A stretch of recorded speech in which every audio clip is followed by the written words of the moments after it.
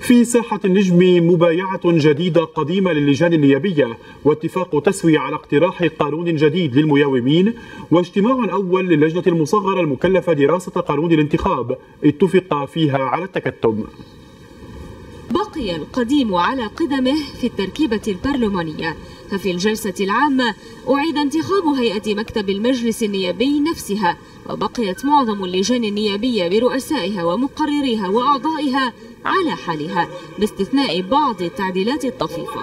في بداية الجلسة طلب رئيس مجلس النواب نبيه بري خروج الإعلاميين من القاعة لمدة عشر دقائق من دون معرفة الأسباب ليتبين بعدها أن بري وجه ملاحظات إلى النواب بضرورة حضور اجتماعات اللجان النيابية ومشاركتهم الفاعلة فيها.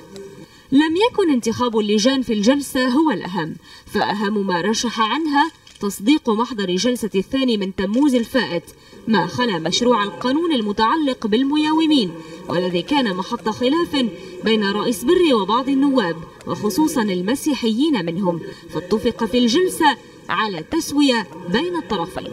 يقدم اقتراح قانون معجل مكرر يعدل مشروع القانون الخلافي السابق. وأفضت التسوية إلى دعوة بري لعقد جلسة في السابع والثامن من تشرين الثاني إفساحا منه في المجال لتطبيق الاتفاق الذي تم التوصل إليه. فبدأ النواب المعترضون سابقا راضين عن أداء رئيس المجلس. نحن نشكر الرئيس بري إلى مبادرته لتأجيل التصديق على المحضر. بدي أشكر المجلس النيابي ودولة الرئيس على اللي حصل اليوم. طبعا كل الكتل اللي تعاوننا معها ولعل أكثر ما لفت في نشاط البرلمان لقاءاته الجانبية التي عقدها الرئيس بري على هامش نشاطه مع كل من رئيس الحكومة نجيب ميقاتي الذي التقاه مرتين قبل وبعد الجلسة العامة ورئيس الحكومة السابق فؤاد السنيورة. وكان الطبق الأساس في اللقاءات قانون الانتخاب بحسب ما علمت ال MTV.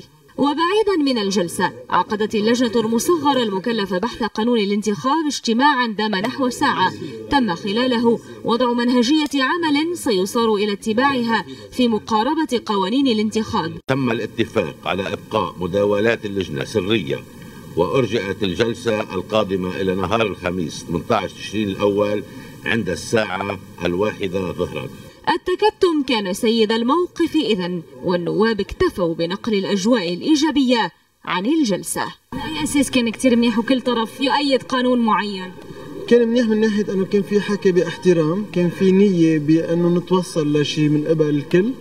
وفي جدية بالتداول وما في تشنج. ما حدا آه، ما عارف حجم ما أنه مقدر حجم المشكلة اللي عم تواجهنا. وحجم الخلاف الموجود بالبلد. عم نجرب وكان الحديث كثير صريح. عم نجرب نتصارح فعلا حتى نشوف فعلا إذا في إمكانية اتفاق أو لا. لا جديد إذا في الاجتماع الأول للجنة المصغرة المكلفة دراسة قانون الانتخاب.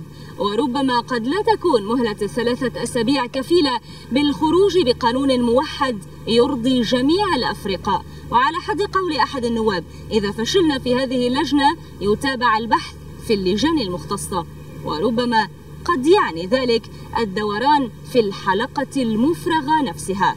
من ساحة النجم جويس عقيقي ام تي في